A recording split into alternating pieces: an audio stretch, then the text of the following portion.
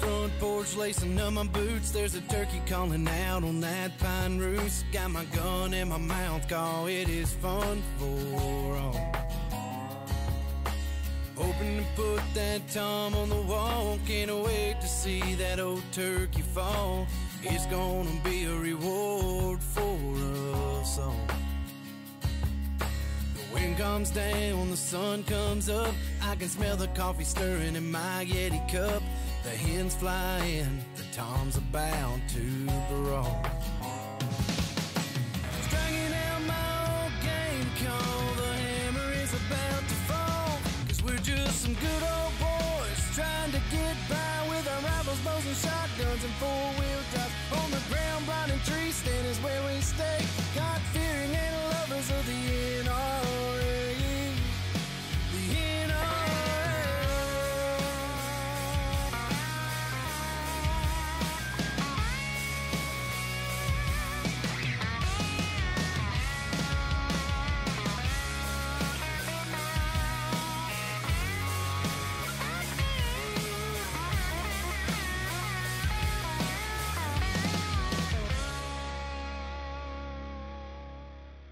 Welcome to Bible Belt Outdoors. I'm Brad Hall and I'll be your host on this episode.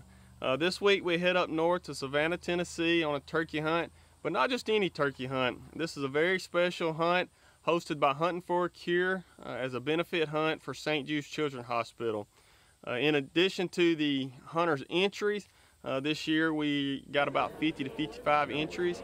Uh, in addition to those entry fees uh, that are donated, they also have a couple other fundraisers during the event, like uh, t-shirt sales, 13th annual t-shirts. shirt fundraiser sales, cornhole tournament where we give away a first, second, and third place prize, uh, turkey tournament, and the biggest bird, first, second, third, most money raised, first, second, third. And you know, and all these kids really enjoy that as they come together and bring their bird in to be scored. Uh, they get to ring the thunder bell. And then at the end of the event, we'll have auctions. Uh, we'll have men, women, and kids items. We have a lot of guns, custom-made items, including turkey calls. And you know, we were very blessed this year with uh, giving bidders with one gun and selling three times as the winner redonated it to be auctioned off again.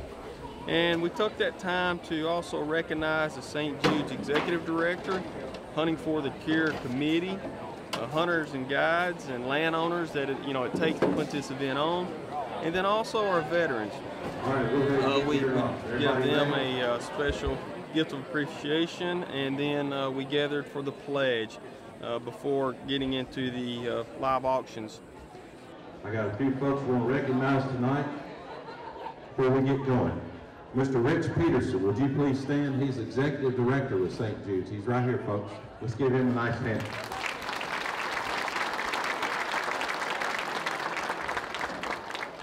He said, thank you, I Louie, for everything you've done. Now, the HFC committee that puts this hunt on, where all you at? Would you hold your hand up or stand up?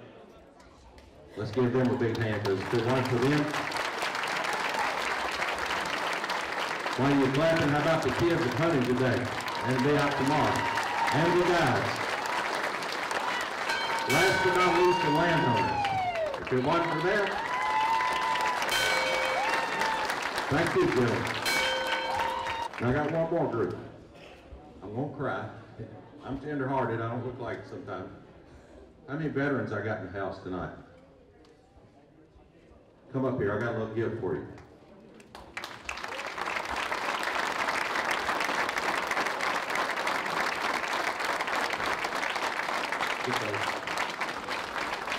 Yes, thank you.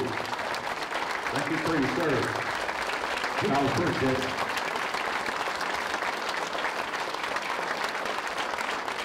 one for these guys, and sometimes I get some women in there.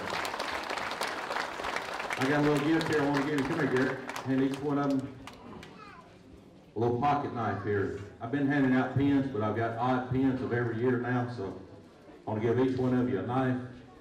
You're a veteran, you know what to do with it. Don't cut yourself. I ain't got any Band-Aids.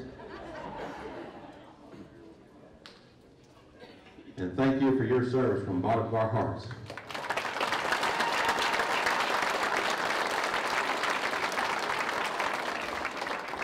Now, while you're standing, you all sat down on me, didn't you? Didn't know how to play the game. All right. I've got some flags we're gonna sell tonight, but I don't wanna unfold one right now because I haven't got time to fold it back up. I'm fifty-seven years old, it's been a while since I was a Boy Scout too. We're gonna pretend there's a flag right up here. We're gonna say the pledge before we get started. I'll hold the box up. All right, you ready?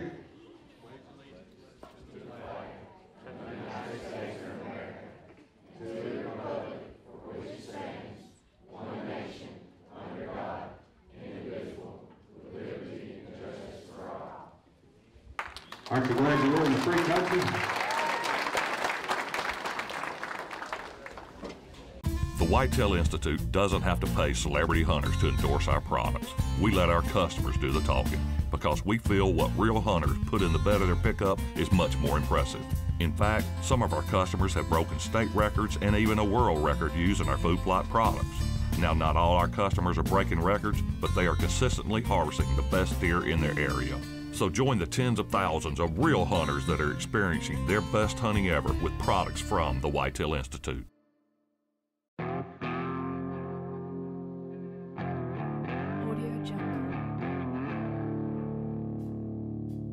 This is your home. Out here, comfort is a luxury. Patience isn't a virtue, it's a necessity. Out here, the little things are the only things that matter. Some call hunting a hobby, but you know better than that. To hunt is to live, to live is to hunt. That's why we pour everything we have into the details of our patterns. Patterns true to life, true to your life. We don't source from the mind. We source from the land, from the grass, from the trees, from the hunt. We use the highest quality digital imaging to create three-dimensional layers that break up your silhouette and allow you to blend in like never before. Because there's a difference between looking real and being real. It's about time the next innovation in camo is not just a new painting. True timber for true hunters.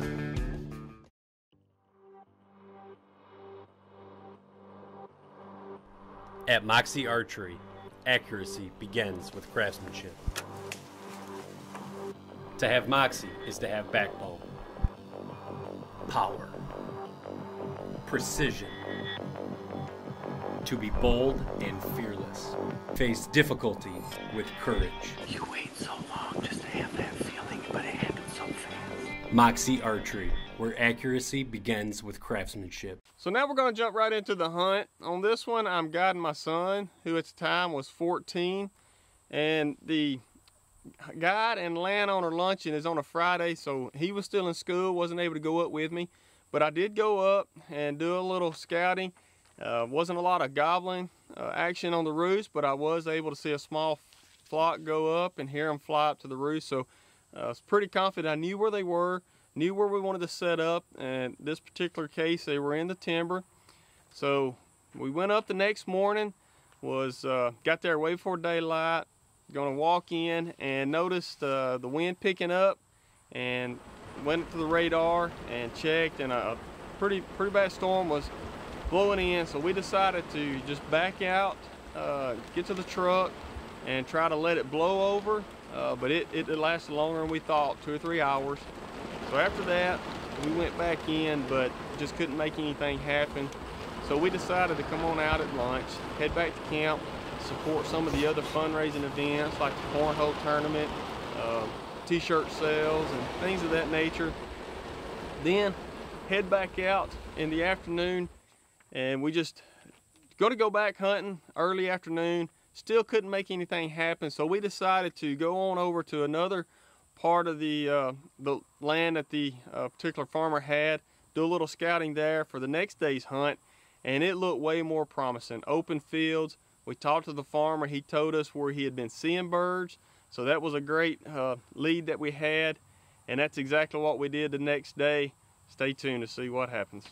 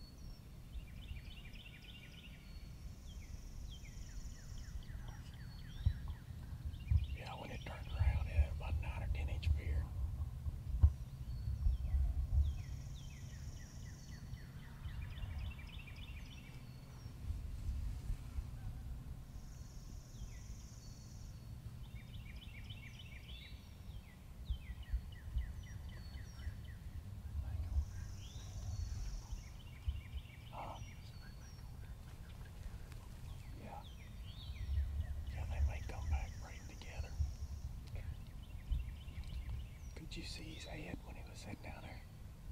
A little, see like the, from like where his actual head meets his neck. May have sat down on the wrong side.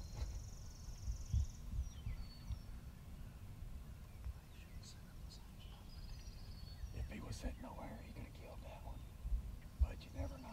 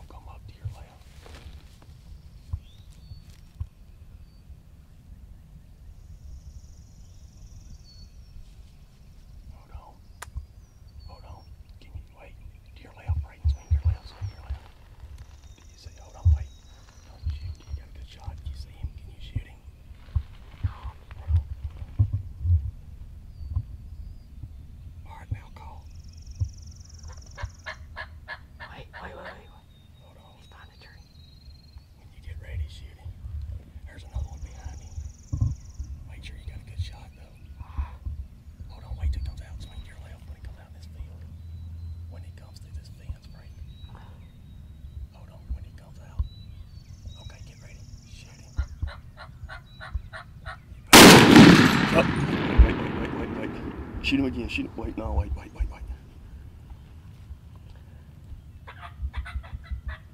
Put safety back on. How'd you miss? He was behind that tree. He wouldn't stop. I couldn't. Hold on.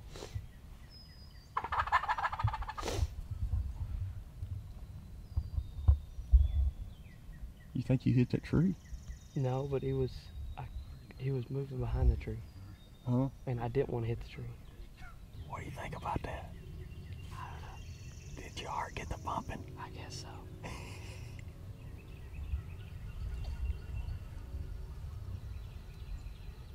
You ready to redeem yourself? Yeah. Hey, neighbor. Heard you took another Big Ten point on your place. Yep, got him coming to Upper Food Plot. Dang, we both plant fields, but you've got the deer. What's your secret? I plant Whitetail Institute products. Couldn't say.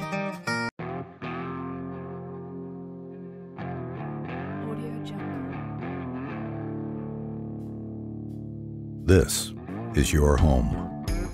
Out here, comfort is a luxury. Patience isn't a virtue, it's a necessity. Out here, the little things are the only things that matter. Some call hunting a hobby, but you know better than that. To hunt is to live, to live is to hunt. That's why we pour everything we have into the details of our patterns. Patterns true to life, true to your life. We don't source from the mind. We source from the land, from the grass, from the trees, from the hunt. We use the highest quality digital imaging to create three-dimensional layers that break up your silhouette and allow you to blend in like never before. Because there's a difference between looking real and being real. It's about time the next innovation in camo is not just a new painting. True timber for true hunters. Is it your desire to have an obedient companion, a gentleman's gun dog, or even a championship level hunt test title? Well, at Limestone Retrievers, we can offer you all this for your large breed dog. We use proven training techniques and handling techniques through our puppy obedience and gun dog retriever programs, as well as hunt test prep and handling. We can also handle all your boarding needs. I'm Hunter Shell, and this is my dog Reuben, and your most enjoyable day hunting starts at Limestone Retrievers. Call us today for your no-risk consultation. Well, folks, as you see, the second day, a lot more action. Things have calmed down, got some goblin, and man, did they come in hot. Well, I had changed out my choke tube with a new Sumtoy choke, uh, custom choke, and it was way tighter than my previous choke that my son was used to shooting. And it just came down to, I think, uh, just not enough target practice with the new choke because it was tight and that bird was close. It was like shooting a slug at him and he just shot behind it, that bird, way he was moving in. And you know, it's just one of those things. Uh, he either pulled or just a tight pattern, you gotta be dead on. But we're gonna hang out, hang tight and see if uh, he can redeem himself. There's still some birds gobbling and see if something will come back in, so stay tuned.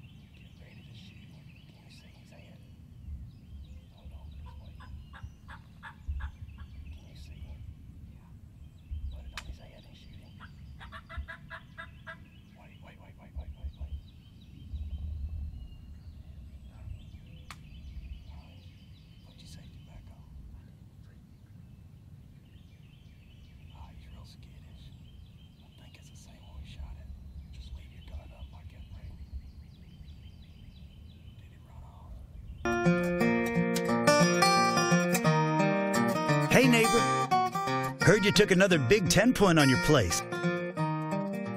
Yep, got him coming to Upper Food Plot. Dang, we both plant fields, but you've got the deer. What's your secret? I plant Whitetail Institute products.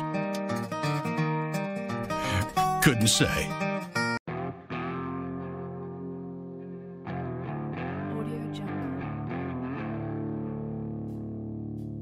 This is your home. Out here, comfort is a luxury. Patience isn't a virtue, it's a necessity. Out here, the little things are the only things that matter. Some call hunting a hobby, but you know better than that. To hunt is to live, to live is to hunt. That's why we pour everything we have into the details of our patterns. Patterns true to life, true to your life.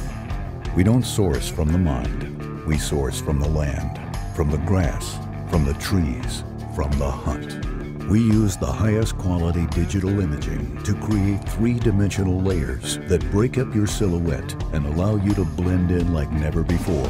Because there's a difference between looking real and being real. It's about time the next innovation in camo is not just a new painting. True timber for true hunters.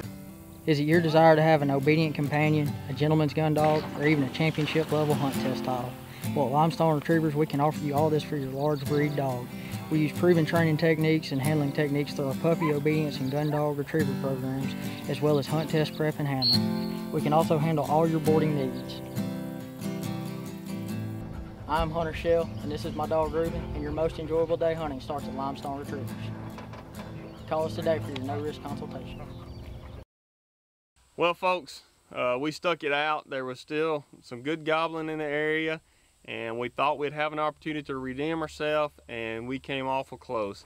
Uh, another bird come in, or it may have been the same bird. He came back from the general direction that one left out, and the bird was a little skittish, so it could have been that one, uh, but he just wouldn't commit hardly enough toward the decoy or stay there long enough to get a good, good clean shot. So my son decided to wait and uh, but you know we had an awesome time supporting uh, this event uh, great funds raised and we'll definitely be back next year wow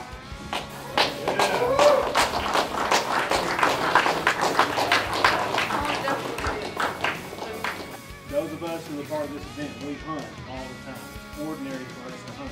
And for us to come together for this weekend and putting others first, putting these kids first. I mean, I, I could be hunting Mississippi this weekend. I, I would much rather do this. I'd rather take a, a child out and support a hospital that did all they could to save my son's life and, and Price's life as well. So it means a lot that you guys will come up and, and give of yourselves and take an ordinary event like turkey hunting and make it extraordinary.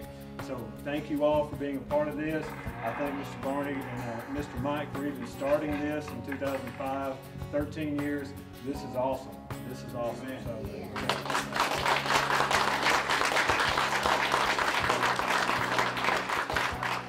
So, so with that, we're going to have a word of prayer and we're going to give thanks to the one who's actually making this possible. So y'all would. Our Heavenly and Gracious Father, we just come to you. We come to you humble. We come to you thankful. We give thanks for this weekend. We give thanks for all the volunteers and all the kids and everybody that, take, that makes this possible. We give thanks for this, this area, this land, the landowners. We just thank you for the opportunity to do this. We just thank you for a hospital that does all they can to save children's lives. Lord, we just we praise you and give you thanks for, this, for allowing us to do this and for the success we have. We, we ask that you forgive us when we fail you. And thanks again for all the for all the success that we had because we couldn't do it without you. You're handling Because we're just some good old boys trying to get by with our rifles, bows, and shotguns and four wheel drives. On the ground, and tree stand is where we stay. God fearing and lovers of the NRA. The NRA.